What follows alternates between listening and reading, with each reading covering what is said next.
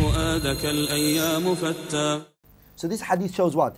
It's a dalil على صحة القياس والاعتبار بالنظر. That it's permissible to do qiyas and to look into it. And I advise you all to go to Imam Muhammad al-Amin al-Shanqiti who refuted Ibn Hazm in the issue of qiyas. Ibn Hazm said, rahimahullah ta'ala, that qiyas is not permissible. And the argument he brought forward, which is, he said that the qiyas is not, it is not permissible. And the reason why it's not permissible is because the first person who ever done qiyas was shaitan. Iblis was the first one to do analogy. How? They said that Iblis said to Allah Tabarak wa Ta'ala, خلقتني من نار وخلقته من طين. أنا خير منه. I'm better than him. And where did he take the analogy from that he's better? He took it from his creation. He's whatever he was made from. Are you with me? Sheikh Muhammad al-Amin al-Shanqiti, he, he refuted him in his tafsir. رحمه الله تعالى رحمة واسعة. نعم. وهو وهو متضمن للعدل وما يعرف به العدل So qiyas is based upon what? It's based on adl, justice. Shaykh al-Islam Ibn Taymiyyah said a speech of his that we have to really look into and, and, and, and listen, inshallah ta'ala. He said, Al-qiyas sahih haqqun. The qiyas which is sahih is true, is haqq. فإن الله بعث رسوله because that we know Allah sent his messenger Muhammad sallallahu alayhi wa sallam بالعدل with justice. وأنزل الميزان and Allah تبارك وتعالى he sent down the scale مع الكتاب with the book. Are you with me?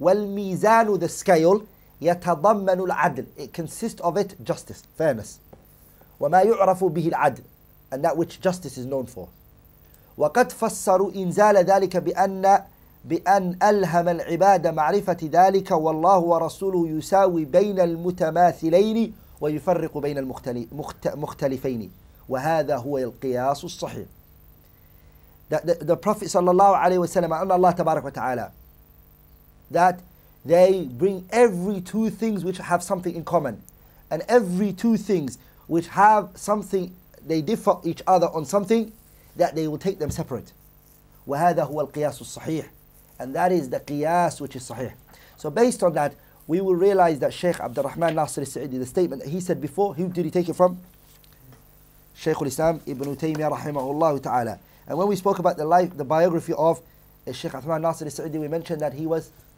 one who gave a lot of consideration to the works of uh, Ibn Taymiyyah and Ibn Qayyim al-Jawziyah, both of them.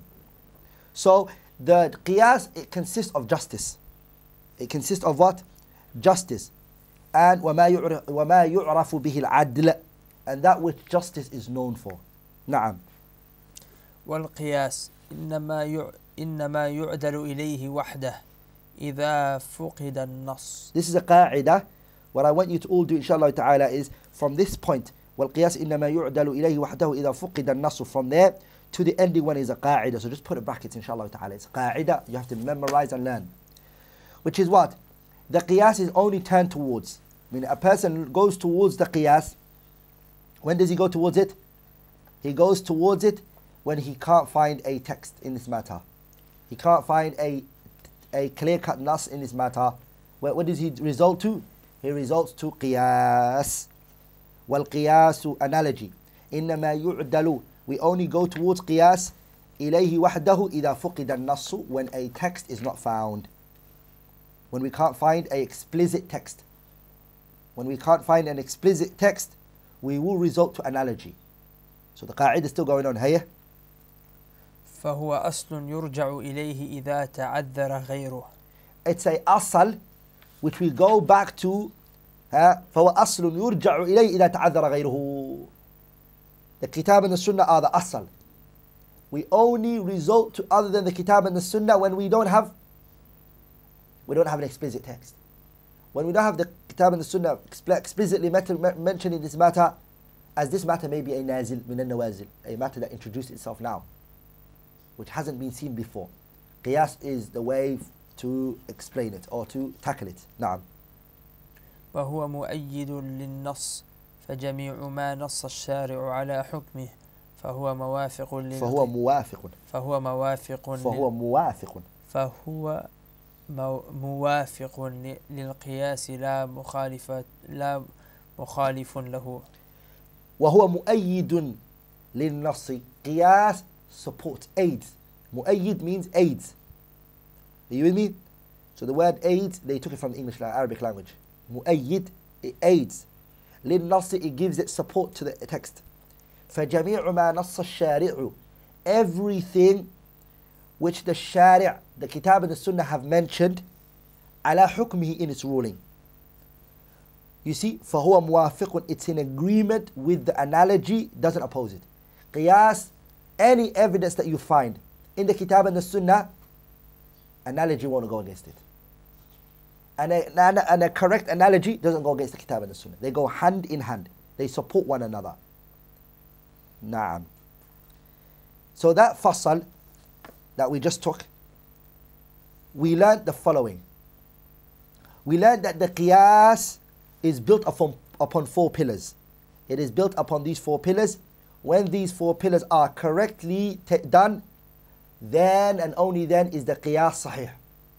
It is us, it's a hukum and a fara' and an asal and the illatun tajma'u baynahuma. Very good. The example that we gave for this is what? The example that we gave for this is the h- hadith of the Messenger sallallahu alaihi wasallam, لا يقضي القاضي وهو غضبان.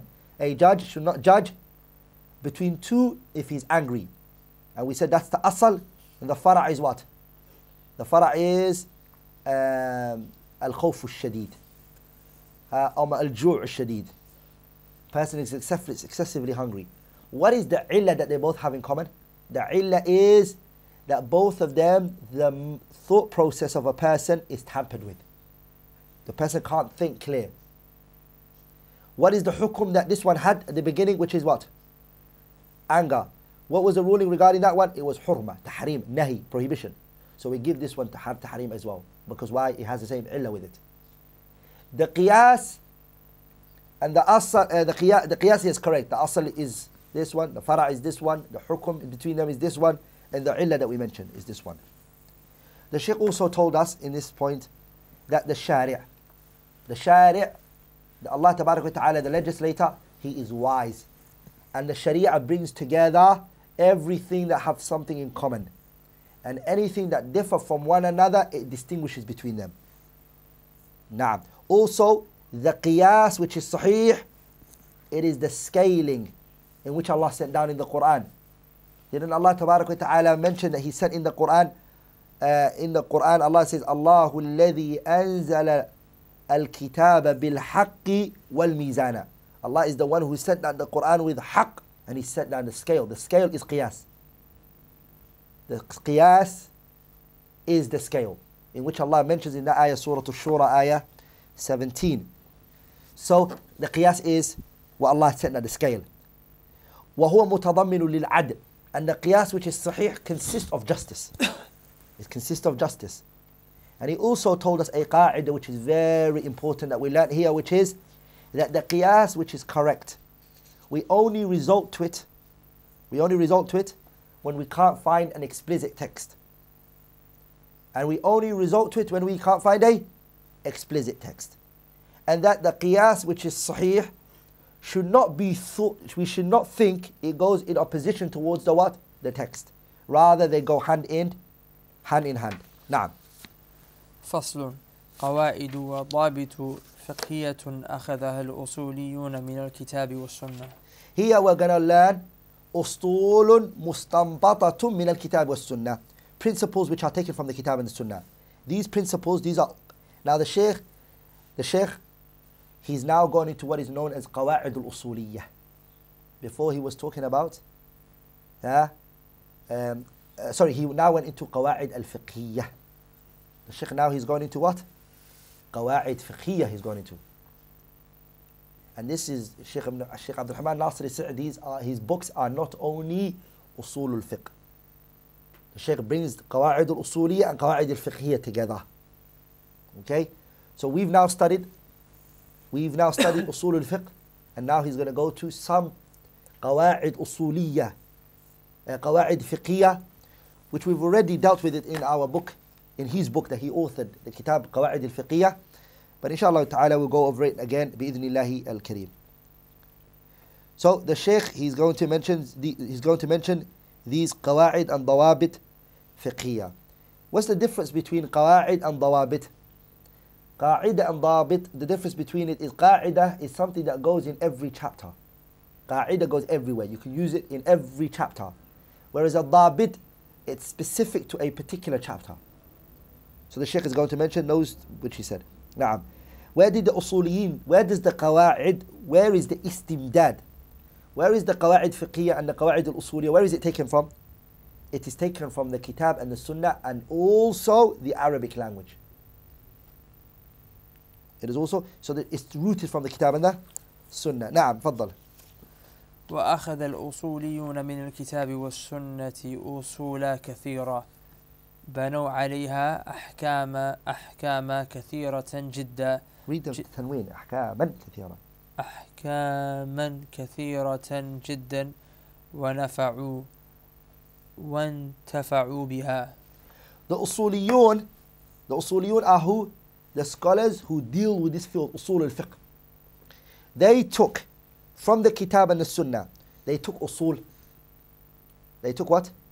Usul. And we, def- we, we mentioned what the word usul means, right? When we mentioned usul al-fiqh, we mentioned what usul mean. They took from it what? They took from it usul, from the kitab and sunnah. Kathiratun, a lot. بنوا عليها, they built upon those usul ahkam and rulings. كثيرة a lot جدا excessively ونفعوا ونفعوا وانتفعوا بها they benefited others and they benefited for themselves ونفعوا they benefited others وانتفعوا بها and they also benefited from it so we're going to go into the first one here the first one here which is فمنها اليقين لا يزول بالشك. ادخلوا فيه من العباد أدخلوا. أد- أدخلوا فيه من العبادة فالمعام فال فالمعاملات فالمعاملة فالمعاملات والحقوق شيئا كثيرا. فمن حصل له الشك في شيء منها رجع إلى الأصل المت... ال... آه... إلى الأصل المتيقن. متيقن متيقن the sheikh now he said the first one is al-yaqinu certainty لا يزول it is not removed bishaki with doubt so the first one he mentions is al-yaqinu certainty لا يزول it is not removed bishaki with doubt in other wordings they sometimes say al-yaqinu certainty لا يزال it is not removed it's also said bishaki this qaida which is al-yaqinu certainty an example for it is if a person is upon tahara, I am sure, I have certainty that I am upon tahara. Meaning I have my wudu, I have my ablution. I've done my wudu, I am sure. Uh, Because I prayed fajr with tahara. But then dhuhr comes in. And I become what? Hal did it remove from me my purity? Or, back, uh, or am I baqi? Am I still remaining upon my tahara? I'm doubtful. At this point, we say al aslu. The asl is what? The asl is what? You were mutawaddi, that you were upon, or the certainty is that what you were. You were upon a tahara, and we won't remove or we won't me- leave that certainty for the doubt of whether you broke it. So we'll stick to it. What's the evidence for this uh, qa'idah? The evidence for it is the hadith in Sahih al-Bukhari and Muslim. That the Messenger sallallahu alayhi wa sallam, he said, um, لا ينصرف لا ينصرف He should not leave one of you the salah حتى يسمع صوتا أو يجد ريحا unless he unless he hears a sound or he smells a, fr- and a fragrance. If he smells it, or he, what do you call it, hears a noise, then this is certainty. He leaves the prayer. But if he's a person who's shak, don't base anything on the shak. If a man who's married to his wife, a man's married to his wife, and then he thinks to himself, لو شك رجل, a man has a doubt, هل طلق زوجته, did I divorce my wife, أم لا, or, I, or did I not? We will say to him, لم تطلق you haven't divorced your wife and ولك أن and it's permissible for you to have intimacy and relationship with your wife based on what استصحابا للنكاح we're we're basing it upon what istishab we're going back to the original asal the certainty which was what you were married to this woman nikah took place people were there when you married your wife your marriage remains here and we'll stick to that so the biqa we remain على الحكم بقاء الحكم على اليقين we're going to base this upon the certainty and here brothers if you've heard me I've just said the word istishab and I think we've taken the word istishab we did take the word we took istishab istishab means بقاء ما كان على ما كان it means if a person owns a house okay? And you claim you claim that you bought this house from him. Who is who is the owner of the house? The one who's living in it? The one who everybody knows that he had the house? The one who wants to take the house he has to go bring bayina evidence that this house was sold to him. These are called istishab the certainty which is the asal we're going to stick to that. And we're going to leave off what is what is doubtful what is we're not sure of so because we said that istishab and- and this qaida it deals with istishab it's obligatory on me to explain to you guys the matters pertaining to asal. When we want to bring a matter back to the asal I have to explain to you that the asal the asal of a mas'ala to say this is the asal we're going to go back to asal on this issue is of four types. The first one inshallah ta'ala is it matters a text has been found in affirming this.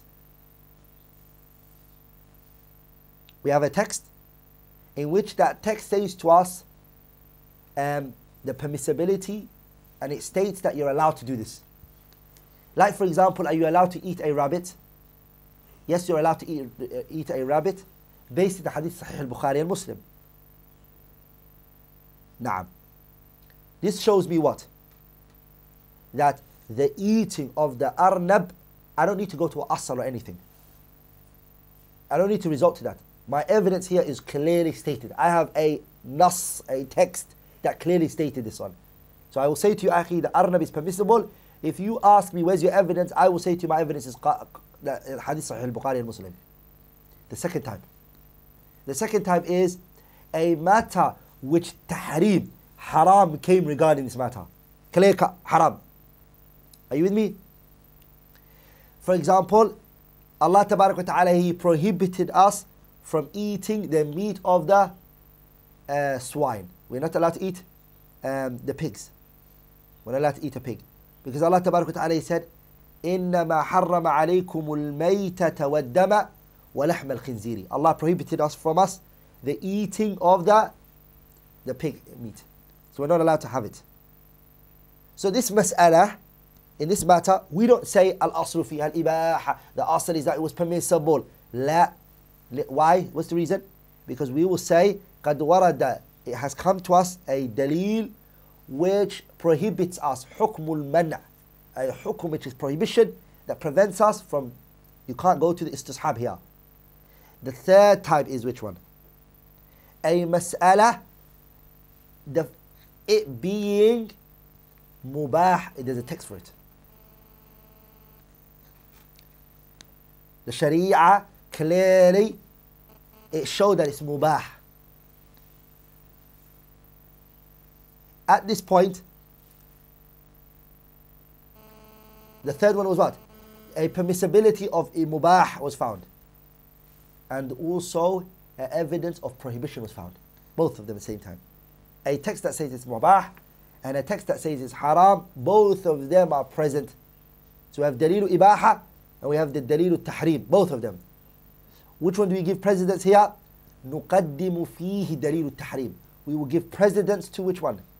The evidence that makes it haram. Why? نعمل فيه. We implement here we الاحتياط to be on the safer side. Because of the قواعد الترجيح the ulama take. And of course, based on the hadith of Nu'man ibn Bashir, إن الحلال بين وإن الحرام بين وبينهما أمور مشتبهات. So the Prophet ﷺ said, فمن فمن اتقى الشبهات فقد استبرأ لدينه وعرضه ومن وقع في الشبهات وقع في الحرام كالراعي يرعى حول الحمى يوشك أن يرتع فيه So you stay away from it. دع ما يريبك إلى ما لا يريبك and the evidence like that the fourth one is a matter there is no evidence that says it's permissible. There is no evidence that says it's haram. There's no evidence that says there's nothing. So the sharia is quiet about it. This one this one we will say based upon if it's mu'amala, if it's transaction, if it's eat food to eat, if it's clothing to wear, and it's not a matter related to what? Ibadah, it's not a mas'ala, it's not a matter of ibadah, then here we say al-aslu. The asl is that it is, it is what? The asl is that it's permissible and that we are allowed to what? We're allowed to eat this animal. We're also allowed what? Uh, we're allowed to eat this animal. We're allowed to wear these clothes. Uh, The asal is. Are you with me? The asal is that it's permissible. Food is the asal. They're eating the asal. Also, even water, the asal, that is pure. All of that we take it back to the. We take it back to the asal of the Sharia, and the Sheikh is going to bring uh, matters pertaining to this.